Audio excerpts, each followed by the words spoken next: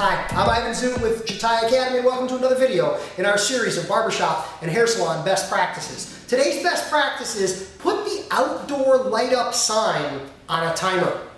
This is really important.